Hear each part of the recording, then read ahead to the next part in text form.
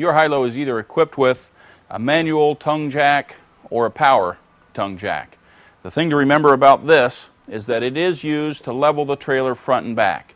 When you get in your campsite, you get your trailer leveled from side to side. Next, you're going to level it from front to back. And you'll do that by running the tongue up or down.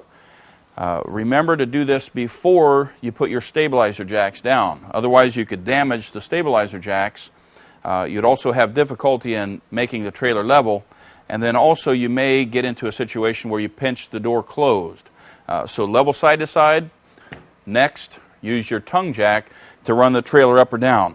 If you've got a standard tongue jack, you run it to where you think it's level.